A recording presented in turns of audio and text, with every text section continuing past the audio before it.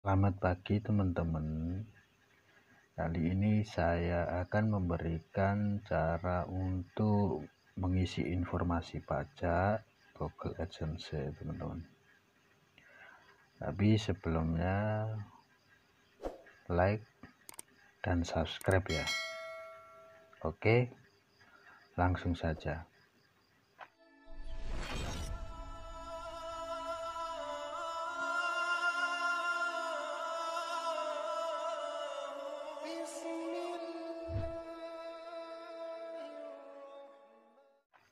pertama-tama kalian masuk Google Chrome seperti ini ya teman-teman.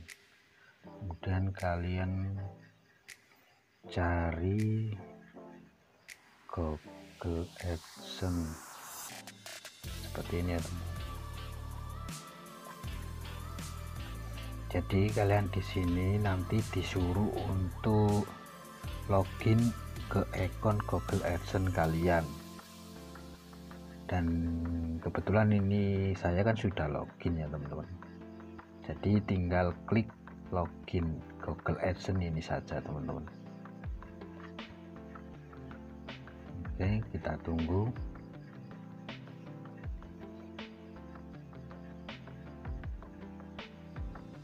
Masih loading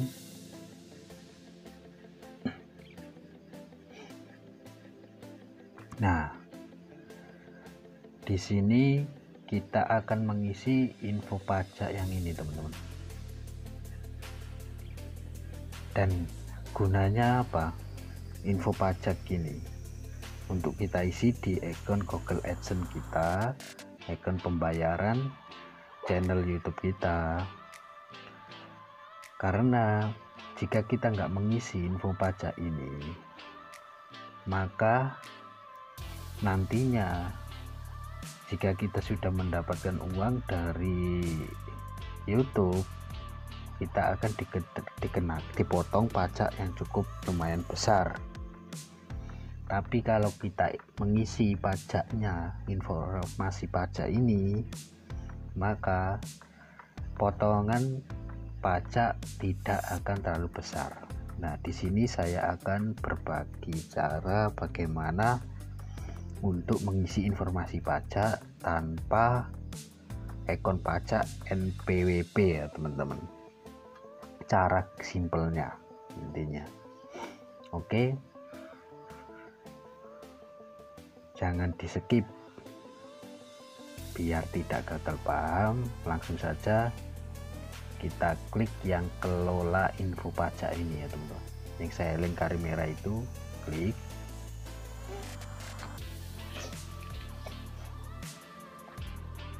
kita tunggu masih loading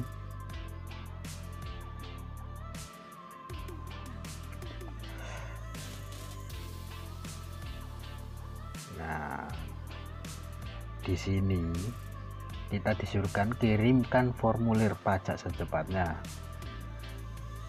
Jadi di sini saya berbagi cara. Meskipun kita tanpa ikon NPWP pajak DJP online ini teman-teman kita bisa mengisinya. Jadi nanti potongannya itu enggak terlalu besar ya teman-teman. Oke. Sekarang kemudian tambahkan info pajak yang ini ya teman-teman. Klik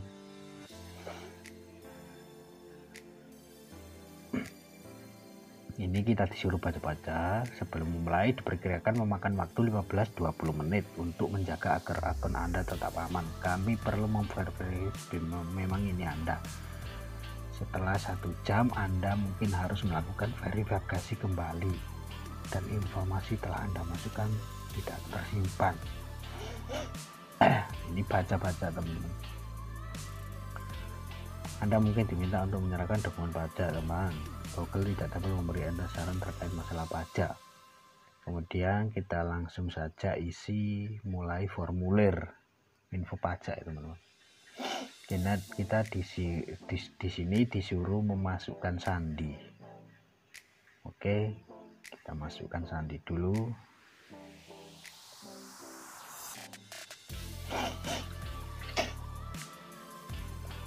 Kemudian klik berikutnya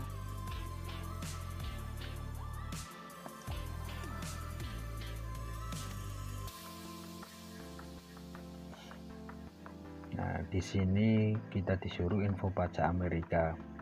Apa jenis akun? Kalian. Jadi nanti di sini itu kalian disuruh memilih jenis akun AdSense kalian itu apa. Karena ini perorangan pilih saja yang perorangan ya teman-teman. Bukan perusahaan atau apa. Pilih yang perorangan ini kemudian berikutnya. Apakah anda warga negara atau penduduk Amerika Serikat? Nah di sini pentingnya teman-teman. Poin pentingnya itu di sini. Kalau kalian salah mengisi di sini ini kalian akan kena pajak besar. Jika kalian klik iya. Jadi di sini kalau kita bukan warga negara Amerika kita klik klik yang tidak ini teman-teman. Kemudian berikutnya. Di sini kita untuk pilih jenis formulir pajak. Kita pilih yang paling atas ya teman-teman. Paling atas itu pilih teman-teman. Kemudian kita klik mulai formulir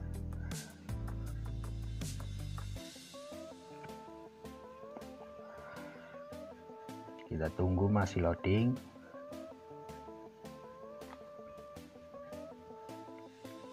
jadi ini ceritanya kebetulan ini channel YouTube-nya ini itu sudah monetisasi. Beberapa minggu yang lalu dan disuruh mengisi pajak teman-teman. Nah ini ada nama identitas usahakan nama dari yang sesuai dari KTP kalian yang, yang kalian daftarkan di kontak utama Google AdSense ya teman-teman. Jangan beda. Ini nama udah sama. Nama DPS negara wilayah. Negara wilayah kalian isi Indonesia kalau memang kalian orang Indonesia kalau kalian orang Timur Leste ya isi Timur Leste ya teman. Kita klik Indonesia. Nomor identitas wajib pajak nah, ini tidak perlu diisi teman-teman. Ini tidak perlu diisi. Langsung kita berikutnya saja teman-teman. Nah ini kemudian alamat tinggal permanen. Alamat tinggal dan PO Box atau alamat UP ini kita disuruh mengisi alamat sesuai dengan alamat yang kita tulis di Google AdSense kemarin ya teman-teman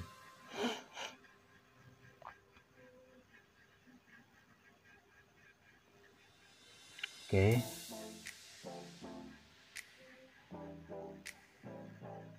Tulis.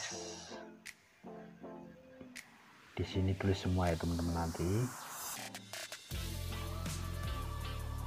Alamat surat pun harus ditulis semuanya teman-teman. Harus sama ya intinya.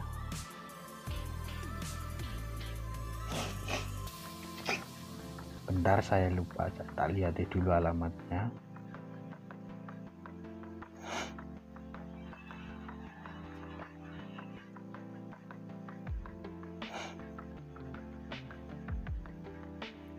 tulis.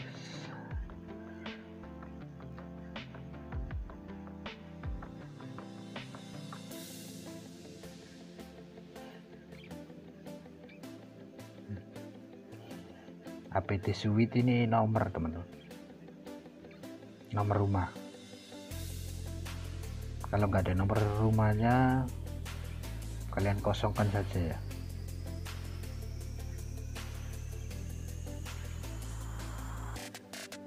kalian kosongkan saja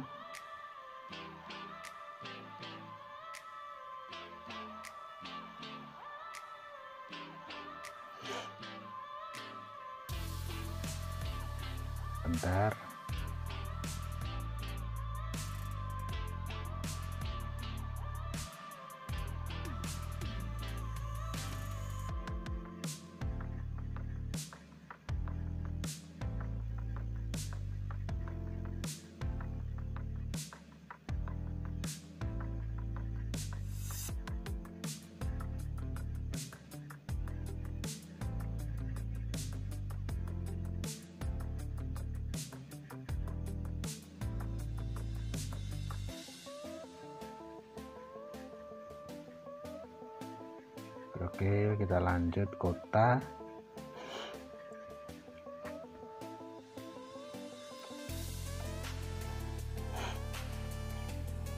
Provinsi.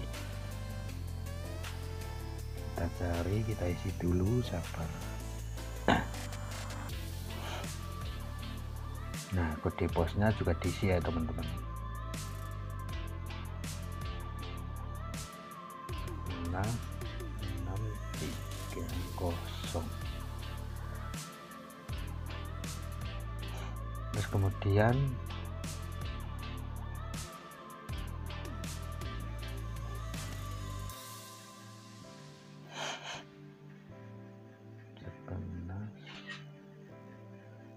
enam kosong ya teman-teman.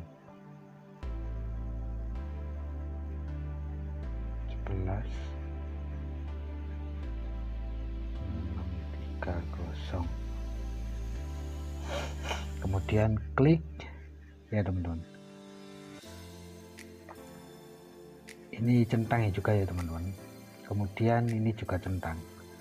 Jadi ini centang ini juga centang ya teman-teman. Oke kalau sudah selesai ngisi alamatnya semua sudah benar kalau dirasa sudah benar ya.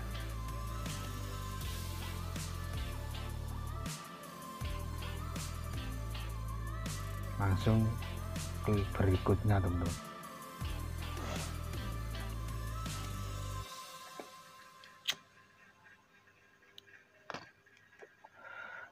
di sini kalian bisa baca-baca.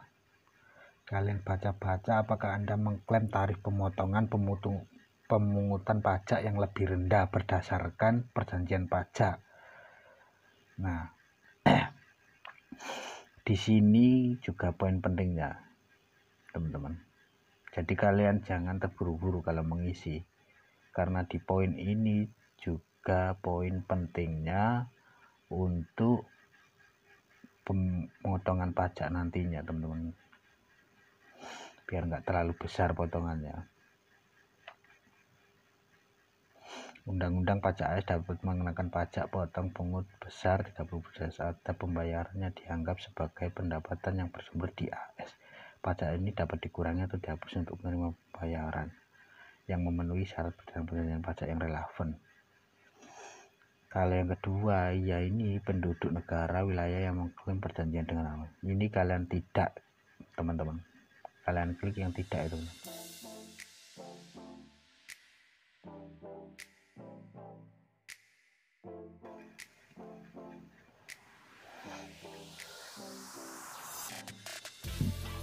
Kemudian ini tentang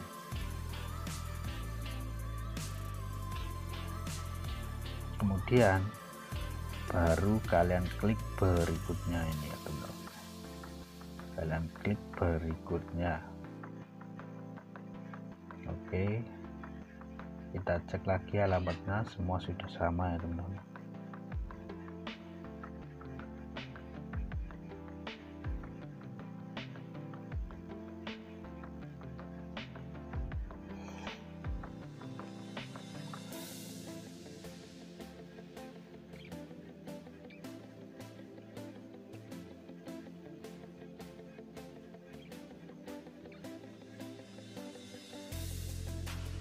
klik berikutnya itu. Nah ini suruh ngisi lagi tanda tangan anda karena ini nggak bisa ngasih tanda tangan anda. Jadi tulis saja nama kalian yang tertera di Google Adsense ya teman-teman. Yang penerima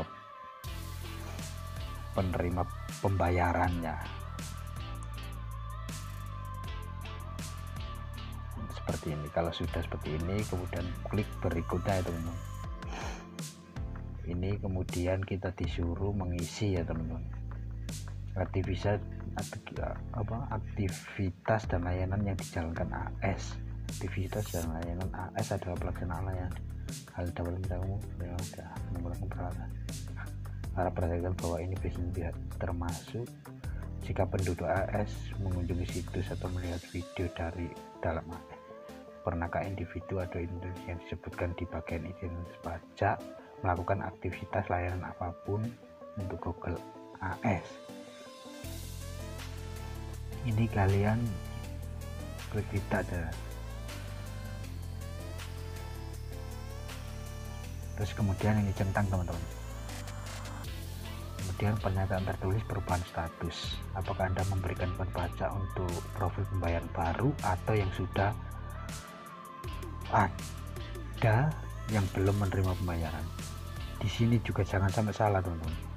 Mengisinya ya. Jadi di sini kalau kalian memang belum pernah mendapatkan pembayaran dari Google AdSense YouTube kalian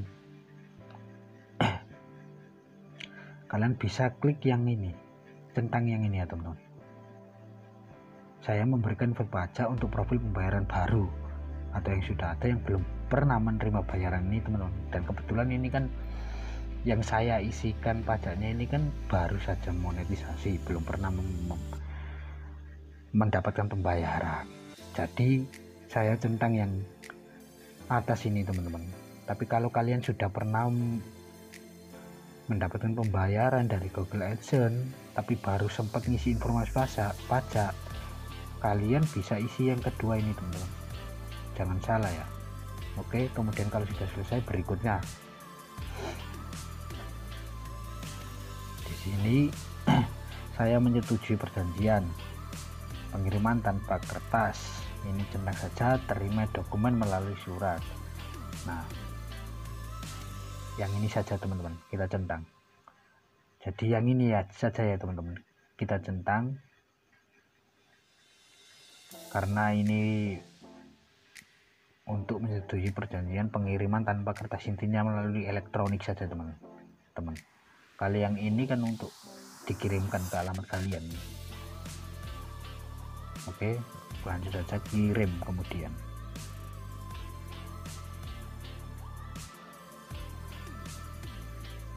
Kita tunggu masih loading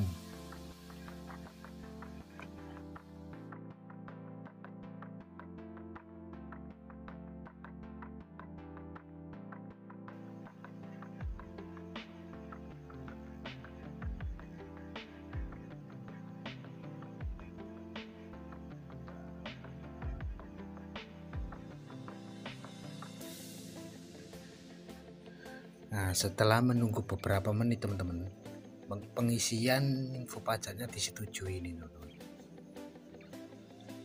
Disetujui ya teman-teman. Jadi begitulah cara mengisi pajak agar disetujui tanpa ekon pajak NPWP kita harus daftar NPWP terlebih dahulu ini nggak usah cara simpelnya teman-teman dan akhirnya disetujui ya teman-teman. Oke. Kalau kalian suka dengan video ini jangan lupa like subscribe ya teman-teman. Bila perlu komen kalau belum paham oke? Terima kasih cukup sekian dari saya. Assalamualaikum warahmatullahi wabarakatuh